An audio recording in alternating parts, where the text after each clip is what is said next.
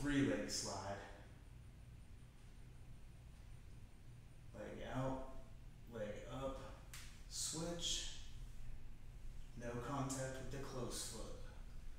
So this way we're making the pelvis a little bit less stable and we're making those stabilizer muscles work a little bit extra hard. But we never want to do this before we're ready to do it. So that's why we go through our levels one and levels two leg.